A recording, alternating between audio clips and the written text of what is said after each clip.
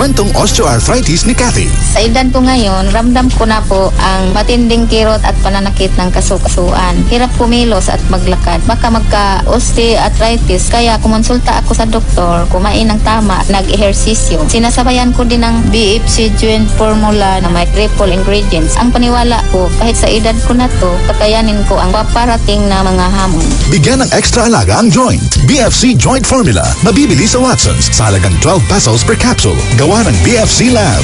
Mahalagang paalala, ang BFC Lab Joint Formula ay hindi gamot at hindi dapat gamitin panggamot sa anumang uri ng sakit.